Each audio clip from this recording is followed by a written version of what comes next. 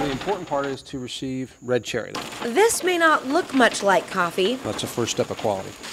but this is the start of the coffee cherry fruit milling process. After harvesting and weighing, the coffee cherries come here to the receiving tank. This is the first step in the wet process. Inside of each one of these red cherries are two coffee beans. That's split out. There's your pulp, and those two coffee beans are wrapped in a parchment shell and also in a very sticky material called miel or honey. Next, it's time to separate the beans from the pulp. So this is called a coffee pulper. The cherries fall in here. The wheel spins around really fast and spits out these two seeds called coffee and parchment. The coffee cherries are then pushed along through a water trough and are sorted by water immersion. Bad or unripe fruit floats, and the good fruit sinks. Top quality fruit moves to the final wet stage, fermentation.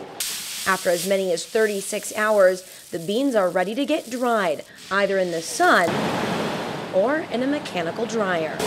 After they're dried, farmers load the beans into parchment sacks for aging. By chance, the Rogers family company discovered that aging the coffee beans in their shells for three months actually improved the flavor. We started working with farmers directly, and we couldn't buy their whole crop at once. So we asked them to spread the shipments out over months April, May, June, July. And we found that the later months always tasted better than the earlier months. The reason? Storage. Like wine, resting raw coffee beans is a good thing. After letting the beans rest, it's time to get the raw beans out of their shells. These machines behind me are known as the peelers. What they're doing is taking the beans in their shells, rubbing them against each other to reveal the green beans inside. The exposed green beans get dumped through a screening process for yet another step in quality control. So there's a bunch of screens, different sized holes 18 screens, 17 screens, 16 screen.